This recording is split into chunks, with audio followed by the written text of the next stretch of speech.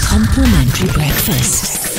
Jacaranda FM. No, no, Lena's by us vanoggend. Like I say, it's my, been my lifelong dream that you interview me. And it's the only way we can get this right if I bring you into our studio. Okay. So I'm going to play your bed and then you can. Inter- would you like to interview? Please, please interview me. Okay. I will. Oh my goodness. Good morning and welcome to Jacaranda FM with me, Noeleen Maholwana-Sangqu. And I have the pleasure of introducing to you the man of the moment, the man who hosts the complimentary breakfast on Jacaranda. His name is Rian van Heerden. Good, good, good, good morning, Nolly. I was about to say, say good morning. Good how are you doing this morning? No, I'm all right. So, how does it feel to be interviewed by Noeleen?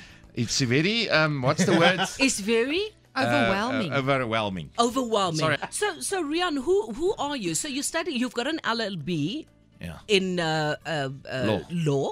Uh, you can't get an LLB in anything else, No, can you? just- okay. You, you have an LLB. so you're a jack of all trades. So you have an LLB. Yeah. You are a master at radio. You've been to so many Thank radio you, stations um, and fired from two. Yeah, uh, it's true. you are a comedian. You think so?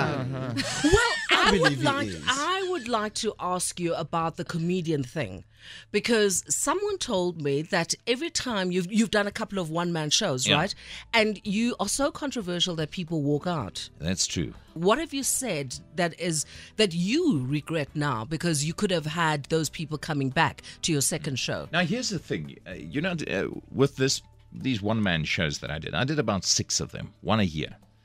And when I did it for the first time, the kind of comedy that I did was very new to people. You know, especially in the Afrikaans community, we're used to people telling a story, mm-hmm. long story, and then mm-hmm. with a weak punchline. Mm-hmm. So we're more storytellers in the Afrikaans community, and the, this was more punchlines mm-hmm. and really hardcore using the language the way it was intended to use. You know, when, like for instance, when the ox wagons would leave the the the, the mountain back in the day and fall off the side, some language would be used. And that is the language that I used in the show, and that offended people. But I'm not, I have no regrets about anything that I said I, uh, on on on a stage. Yeah, yeah. No regrets at Okay. all. At so, all. of all your careers, um, the, let's start with the with the law one. Yeah. Did you ever practice? I practiced as a well, I was a clerk for two and a half years, and the day I was admitted, I got an offer to go into radio. So, as an official attorney, I never practiced. Would you be, if you look back now, would you be a null or a rue? Ooh, that's a fantastic question. I would be an L. Is it because, is it, why? You know him very hmm, well, wifey. Definitely, because he'll stand up for the underdog.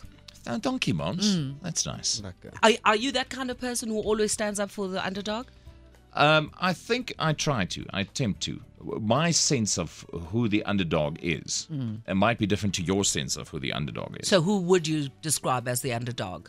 In what scenario? In every scenario. In a social scenario. Let's just take anything that comes to your mind. Because obviously, underdogs would be, there'd be so many scenarios all over the place Yeah. and so many um, things that are happening. So it's very difficult to, to pick one. But I'm asking you to, to just think about it and think about one. I would say people whose voices were silent or silenced and are still silenced and do Like? not have the opportunity to say what is really on their mind. And, and, and But I would you not say because we're in a democracy um, that does not uh, hold true anymore? Unfortunately, not everyone has that opportunity. You know, because we still come from an uh, from a time when you were not allowed to have an opinion. Uh, you know, so people are still stuck in that rut. So I don't think enough, and that's why I did the stage show. It's not. I don't think enough people embrace the concept of freedom of speech enough. Mm-hmm. That you you can say what you really think, and you can mm-hmm. say it on an official platform. Mm-hmm. So hopefully, I would give a voice to that person Okay. who just cannot cross that line of really saying what they think. Okay.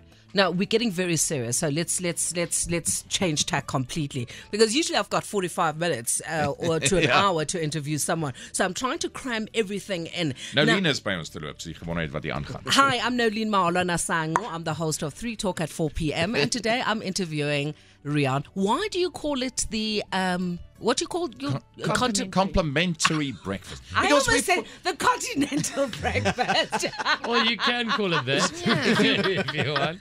I think if you if you think about it as what you get on this show is all for free, and people uh, would Especially confuse the it. advice. Yeah, people would confuse it with with being uh, a show full of compliments. That's not what what I'm about. You know, I'm not going to give you a compliment for no reason.